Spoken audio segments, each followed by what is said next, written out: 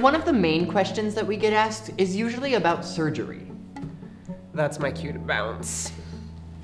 And clearly that can make some people really uncomfortable. Unfortunately, the physical body becomes the focus in most conversations about trans people. The media makes it seem like all trans people either look like this person or this person.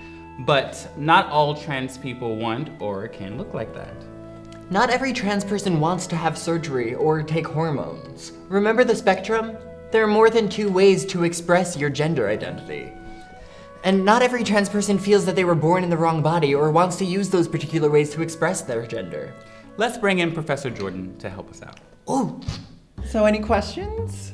Oh, yes, you? Why do people get surgery or hormones? Something called body dysphoria, which means the unease or generalized dissatisfaction with one's body. For people who experience dysphoria, it can be debilitating, causing emotional stress and a feeling of being trapped. Generally, this comes from the outside world giving them messages about what their gender should or shouldn't be. But not all trans people feel this way. Other people say they weren't born in the wrong body, just the wrong society. Now that you've asked about surgery and hormones, you never have to ask another trans person again. In fact, please don't. People's bodies are very private and personal and none of your business. People aren't defined by their surgeries. Besides, asking a trans person if they've had surgery is like asking a cis guy if he's circumcised or a cis woman if she's had a labiaplasty. Would you do that? Now let's talk about gender expression.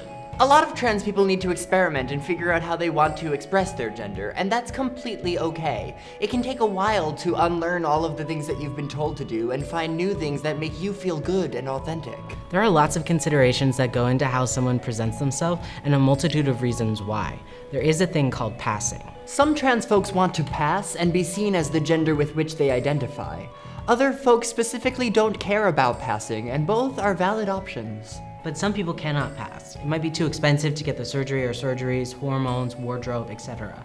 Also, passing is literally not an option when your identity is not recognized by most people. Some people want to pass so they can be read as the gender with which they identify and be treated the same way. Unfortunately, cis people love policing the system. If they can't figure out which of the two genders you fit into, they get scared and start asking questions. Passing is how some trans people avoid this. There are many reasons trans persons present the way that they do. Yes, gender is incredibly important, but so is class, race, sexuality, ability, geography, body image, cultural or social standing. The intersection of these reasons, these identities, is what we call intersectionality. A lot of folks tend to get scared when they see a trans person in the bathroom. They are worried that that trans person is going to attack them, and statistically speaking, trans people have a higher risk of being attacked in the restroom. Cis individuals are afraid of what they don't know, whereas trans individuals are afraid of what's murdering them. But maybe, what does a trans person look like? Me. Me. Me. Me. Me. Me. Me. Me. Me. Me. Me. Thanks for asking, Jesse. If you're a trans person and you look a certain way or do a certain thing, that's what a trans person looks like or does. Not all trans people are the same.